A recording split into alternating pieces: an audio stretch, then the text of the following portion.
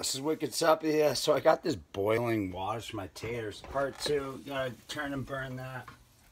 Gotta get my flippers. Um, what I do with the flip flips is like basically want to stab it, kind of test it out, so it's not too good yet. And then raw meat on that. So then you want to do, I don't know if you have to peel these potatoes, but this is kind of good peeling technique.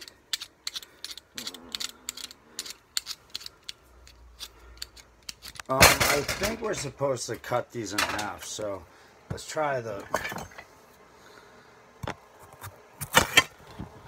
gonna try to do it that way. We're coming to a boil here. Trying to keep that under a minute.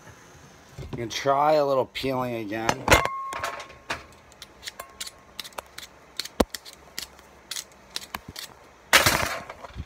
But this is Wicked Suppah here. We got these potatoes. I'm just gonna throw the rest of them in. Oh yeah, watch out. Oh, don't burn yourself. like to get those in there for like 10 to 12 minutes. The chicken we gotta check on in like 5 to 10 minutes. Getting a little blurry here. This is Wicked Suppah, not season 2. Oh, where's my sound guy? Sound guy. Sous chef.